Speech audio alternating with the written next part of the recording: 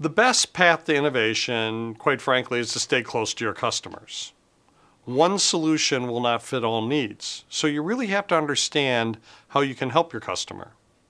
Their needs can change rapidly, so if you're paying attention, you can stay on the competitive edge of innovation.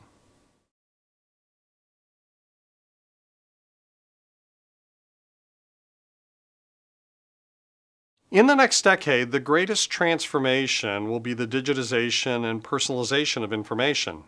And the ability to move that information instantly to anywhere on the planet will really transform how modern societies work, socialize, learn, and live. And because of this, healthcare is at the beginning of a long evolution.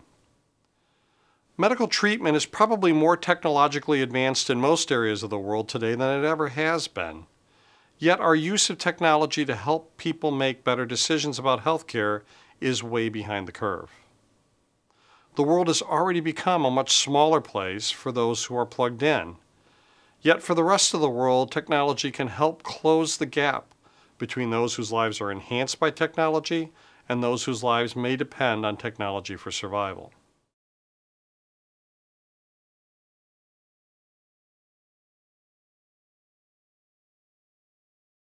I think some of the models that exist today in our current market need to change. We need to have payment reform. So, for example, in our current healthcare system, we pay for activity, not the end result. And in the United States, we pay for each service that's rendered. The obvious result is that more services are rendered because that's how people are rewarded. In other countries where they have fixed healthcare budgets, that model wouldn't work because the more activity you would pay for, the less budget you would have to cover all the services that the population needs. So, in the end, globally, we are all challenged with how to best use the resources that we have to improve the overall health of the population we serve.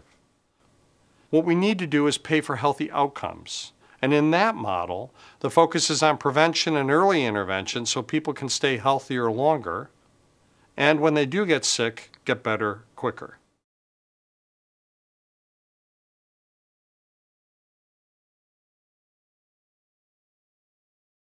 I think one of the ways our industry can understand its impact on the state of the world's economy is to understand our impact on global economic growth and development.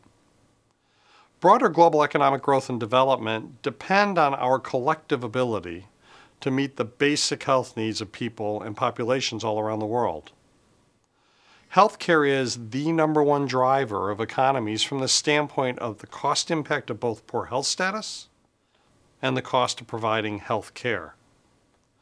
The real issue we face is how do we prevent the onset of chronic disease and conditions? because we cannot afford to wait on this issue. So we are actively working with leading nations to build or improve health systems.